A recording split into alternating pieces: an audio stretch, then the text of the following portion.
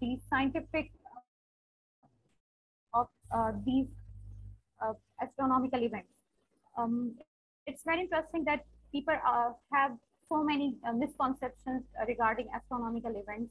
Um, I remember um, in 2000, I guess in 2016, there was a transit and we observed that transit at our uh, observatory, observatory and there were people from media and they asked us questions about that transit. And we told them that this is a rare event and this uh, happens uh, once, uh, once in a decade. And the next day when I read the newspaper, it was written that, uh, that we observed a very rare uh, phenomena that happens in 10,000 years. So you have to be very responsible when you are communicating science with general public.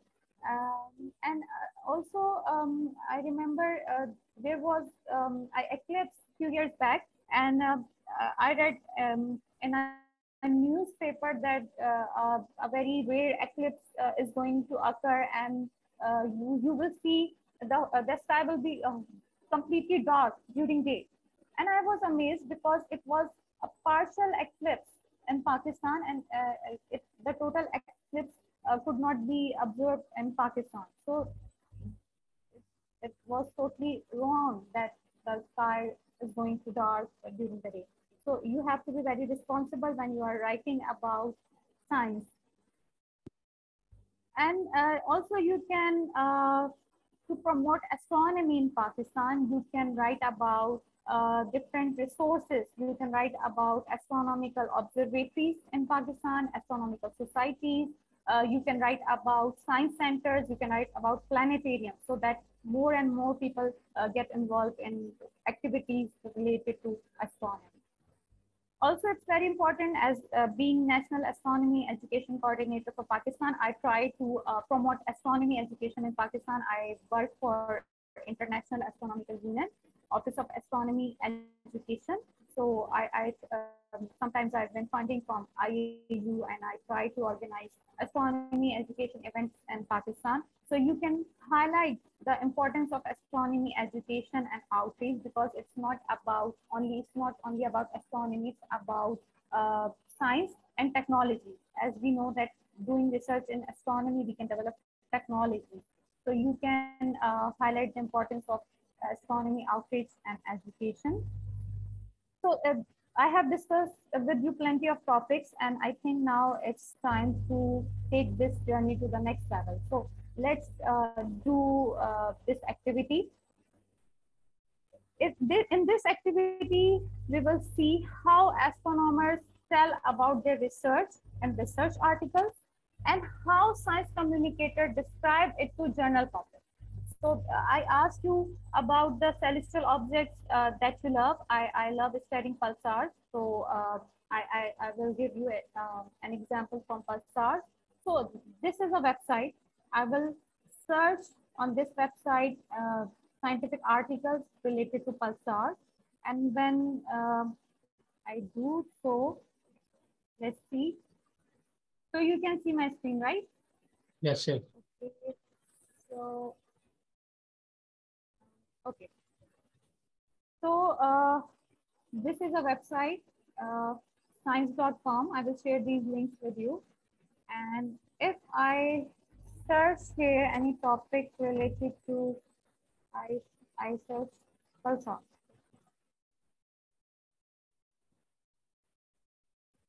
So you can see there are uh, so many uh, science communications related to pulsar, new kind of pulsar may explain how mysterious black widow system evolved. Fast spinning white dwarf pulsar, the second we have ever discovered. So this seems interesting to me. So let's uh, explore this one.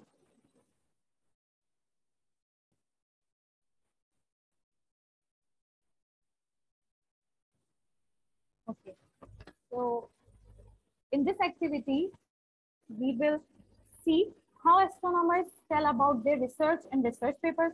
And of course, these research papers are for researchers. But if we have to share these research findings with general public, we, uh, of course, uh, science communicators do it uh, in a different way. so let's explore this thing. And of course, there are lots of ads uh, as uh, Buckeye is just around the corner. So, uh, okay, the fast spinning white dwarf pulsar, the second we have ever discovered, sheds light on how stars evolve. Okay, so this is the article. Let's go to the end of this page. And see, here you see, there is a reference to the original article. So actually this research was published in Nature Astronomy. And if you go to this research paper, you will see that this is the research paper. If you scroll, scroll down, you will find it very difficult to understand, of course, for the very first time. So, so this is the research paper. Okay. So you can see the title, title is totally different. The title that uh, I read here is different. It's very interesting. Fast spinning white dwarf pulsar, the second we have ever discovered. So this is very interesting. Sheds light on how stars evolve. But if I read here, you can see the title is different. A 5.3 minute period pulsing white dwarf in a binary detected from a radio to X-ray. So it's for researchers so that can have some idea that this research paper is related to radio astronomy. This research paper is related to X-ray astronomy and they have detected a pulsing white dwarf. This is something very rare because we have discovered so many pulsing neutron stars, but they have discovered something new. They have discovered a pulsing white dwarf. And this white dwarf is in a binary system that they that means that there are two stars in this system. And the period of the pulsation is 5.3. So they have given all the scientific information in the title that is uh, interesting for any researcher. And if you uh, go down, if you scroll down, you, you, can see that abstract, there are so many uh, authors, you can see the abstract, and there, there are some uh, plots. So you can see complicated plots, figures, Okay, you can see about uh, some explanation about the data and the methods. You can see photometry, spectroscopy, so X-ray astronomy, radio astronomy, archival data, and all these things. So it's very complicated. Of course, it's very complicated for a person who is uh, not related to field of astronomy. So here comes the role of uh, science communicators. So if you try to communicate this research with general public, so of course you have to use very simple language and you have to use um, some uh, illustrations, you have to use some figures. So you can see there is a figure that was not part of that research paper. It's for general public to give them an idea that this is a binary system. There are two stars. One is white dwarf and, and the other one is red dwarf. Okay, so it's for uh, explanation. And now uh, there is the uh, communication of that finding. Okay, let me show you some uh, other thing. I will I will read that for you uh, later. So if uh, I want to read more science communication about this article, you can see this is the original article and it is discussed on several websites. Another example, discovery of white dwarf pulsar sheds light on stellar evolution. Here is another example, white dwarf pulsar discovery sheds light on star evolution. There is a little bit uh, difference in these two titles. White dwarf pulsar discovered sheds light on star evolution. So you can see that there are plenty of examples of uh, uh, communications of this research paper. Another example, discovery of white dwarf pulsar sheds light on stellar evolution. And this is, I guess, the same example. Yeah. Okay. So let me uh, discuss any one article with you, I guess. Um, okay. So I would like to discuss anyone.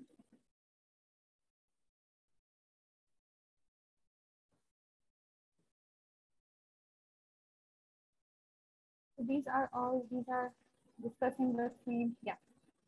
Okay, I am discussing uh, the one which is available on Universe Today website. Okay, you can see the same picture. Uh, the same picture is used on this website.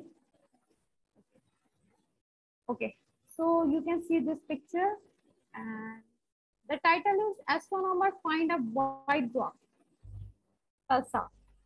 So why it is very interesting and we know that there are different types of stars and when stars uh, stars are formed in clusters and their evolution their life depends on their initial mass and when stars die. They can be uh, in uh, die in form of black holes. Neutron stars neutron stars can be seen sometime as pulsars giving us pulses radio signals and the third option is white dwarf. So when a star uh, dies it can be, uh, it can become black hole, neutron star, or pulsar, and or it can become white dwarf. The interesting thing that is that in research, they found something that have qualities of two possibilities. It is a white dwarf and it is pulsing, it's pulsating. So this is something to grab the attention of general public. They highlighted that astronomers find a white dwarf pulsar because usually they expect a neutron star pulsar. So they they uh, write a very uh, I guess this title is very interesting. And then then they discuss some uh, properties of that white dwarf pulsar that uh, about the size, about its mass, its temperature, its magnetic field, and then the spin. This is uh, uh, all these stars are spinning, so it's spin so they, they discuss these properties and they discuss that it's in a binary system, uh, which has one uh, white dwarf and one red dwarf. Now, uh, they here are some details about this system. So this is the name of the white dwarf uh, pulsar they uh, discovered. If you compare this flow of this science communication with this article, it's totally different. You can see that it's totally different. There are lots of lots of references. There are lots of uh, graphs, right? But there isn't any uh, complicated uh, figure or graph in this science communication. But they are giving you all the information they can, and all all this information is very accurate. So uh, they are telling you that this is the second white dwarf pulsar ever discovered. The first one was discovered in 2016 and this one is discovered, uh, I guess, few months back in this month, June, in June 2022.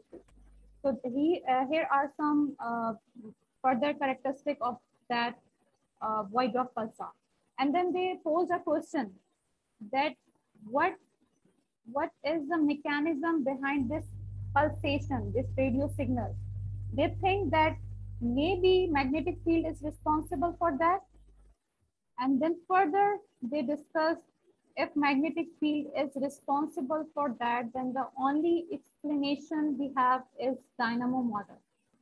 And then in the next step, they discuss the dynamo model by giving us the example of magnetic field of Earth, which is due to the core of the Earth, dynamo model again. So and here you can see another figure which was not uh, in the research paper.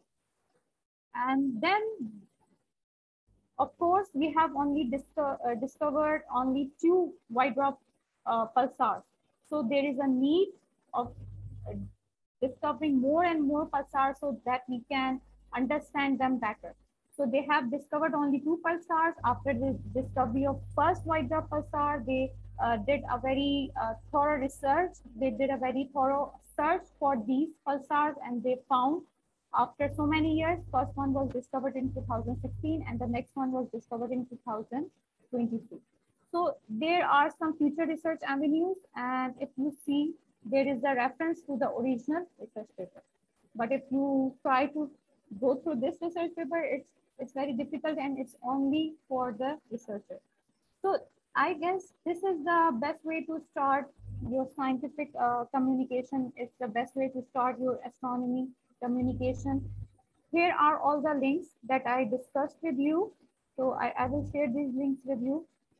And this is how you can compare. If you ever uh, try to write um, any astronomical, uh, if you try to communicate any astronomical research article, if you try to uh, communicate it, you can compare these two things.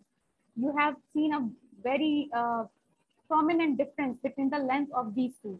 You have seen difference between uh, their titles. So I have uh, given you two examples. Discovery of white dwarf pulsar shed light on stellar evolution. And they are talking about so many things that are uh, interesting for any astronomer. And this see this title, Discovery of Second Ever White Dwarf Pulsar. So this highlights that something rare uh, has been discovered. You can compare, you, you, you have to spend some time exploring these science communication, comparing with the original research article, you will see there is a clear difference between the style of this research article and this science communication. You have to check for clarity because you are communicating uh, these research findings with general public. Maybe they don't have uh, very much understanding of physics. So uh, you can use some figures that are not part of that research paper, but that, that can help the, your audience. And you want, uh, you, uh, you should not use so many jargons in your uh, science communication. You, you will not go to in very depth of that topic. Of course, you are not communicating with researchers, you are communicating with general public or you are communicating with science students. So uh, there is a limit to the depth in which you will go. And make sure, yeah, of course you are um, communicating science with general public or other audience, but you have to be, uh, you have to make sure that the scientific accuracy is preserved. And if you compare these two, there, there were, uh, you see there are so many uh, uh, references, citations, and research articles. But, but when you are communicating that research finding, you, you are uh, only giving reference of that particular research paper. So this is the activity I think that you can do later on. And this will help you uh, learn a lot about science communication, especially in field of astronomy. So these are some links uh, some websites that you can explore. I, I usually uh, read articles on these websites because even for a researcher, it's very difficult to go through the research paper and understand all, everything. So it's very easy, it's very time saving that you read articles, uh, science communication of these articles and it's related to your research area, you can read the whole research article. So uh, when students um, come to me for research supervision, I ask them to read science communication of these research articles. And I also ask them to examine the quality of science in these science communication. So uh, there is an uh, also very interesting way of communicating science with people is APOD, astronomy picture of the day. So let me give you uh, an example for that. Yes. So here you can see there is a picture or and is there a different image or a photograph of our fascinating universe is featured along with a brief description written by a professor. So here is a picture, you can see, and the title is Lightning on Jupiter. We have seen lightning on Earth, right? And but it's very interesting to see lightning on Jupiter. And there is some description. So I guess this is the best way to start with. This is a very best way to communicate astronomy with the general public. Start with a picture, give the science of that astronomical object, phenomena, or event. So here are some websites for you. And with all that being said, uh, there, there is a call of call to action. So you can attend the events related to astronomy. You can join astronomy societies, you can join uh, the uh, observation of, of, astronomical events, and then you uh, you should try to share your knowledge and passion of astronomy with others. So that's all from my side. Uh, your questions are more than welcome.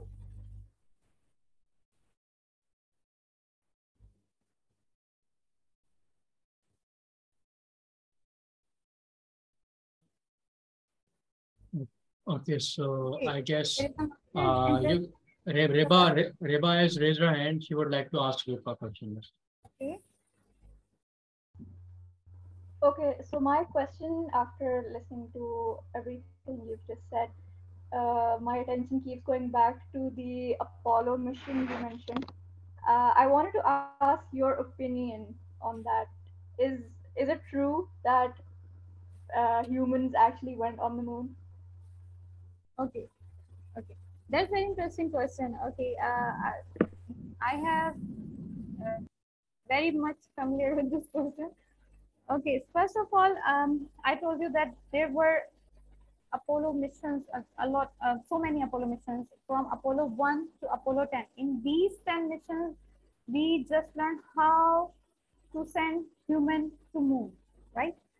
And in Apollo mission, we uh, we finally got success. We sent humans to the moon, and they walked on the moon. And people are very much uh, curious to know if it's real or if it's not real. In my opinion, it's real. It was broadcasted live at that moment, and people asked about how the flag looks like this when there uh, there was no air on the surface of moon.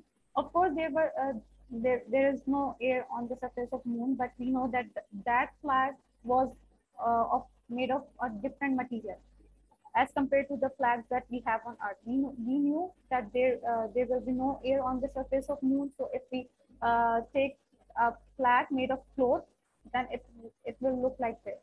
So that was a different flag. So people uh, keep pointing out things that it, uh, that this thing shows that it, it was fake I really don't think so.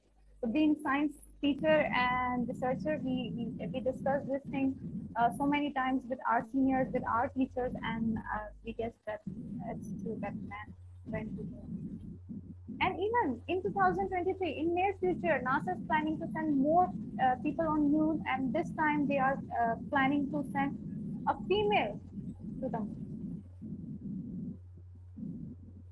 Yes, uh, I've heard about that. But my question is that if humans went to the moon in the 19s, yes. 1900s, right? Uh, why didn't they continue that journey? If, if, if, if it was possible, uh, I think 2023 is too late for us to go back again. Okay, very interesting. Yeah, yeah, very interesting. Um, uh, I I was uh, with the school students last week, and they keep me they they kept asking me the same question, and it's, it's very true that there there is a huge gap between our last visit to moon and in 2023, right? Actually, it's all about our priorities. First, we, uh, man, human, uh, was very curious, was very excited to go on moon, and then we reached on moon. We are now trying to go far beyond in space. Now our next target is not moon, but Mars. And we know right now that to go to Mars, it's a one-way mission because you can go there, but the, our current knowledge, uh, level of knowledge uh, does not allow us to come back. So it's a one-way journey. So we are now not very much interested in moon. We are uh, using the International Space Station and we are using the lunar missions to advance our knowledge to go to Mars and even further in space. So you are very right that uh, there is a huge gap between our last visit and 2023. And in 2000, I guess 30, NASA is uh, again planning to send human to uh, moon. But well, the main thing is that we are now more interested in Mars and farther. And um, uh, Miss, there was also another reason, I guess, uh, the budget issue for NASA in US. Uh, they were not interested to fund moon journeys uh, more in 90s. Uh, they were involved in other issues, political issues. So the funding issue was also there, I guess. Yeah, they are spending a lot of money on international space station. They are increasing yes. the size of international space station every year. Now, six astronauts can work on international space station and can do the experiments uh, which will enable us to spend life, uh, spend time on Mars. So I guess it's all about priorities. Now we are prioritizing International Space Station and we are looking to go far beyond uh, Moon.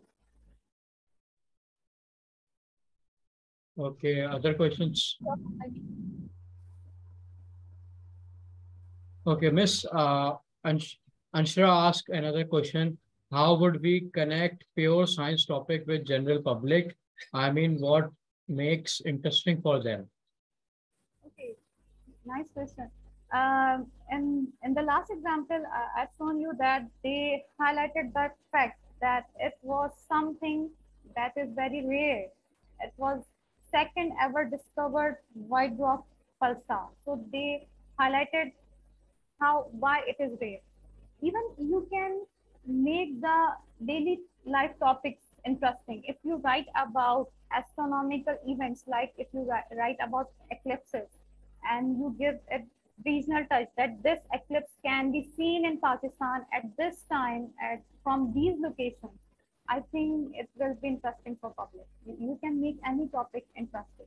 First of all, you you should have uh, complete knowledge of that topic, and then you will use your curiosity how you uh, to make it interesting. I guess you can make any topic interesting, even if it's a recent science discovery or if uh, it's a daily life phenomena. Okay. Mm, you can ask questions. Uh, you can raise your hand. Anyone else?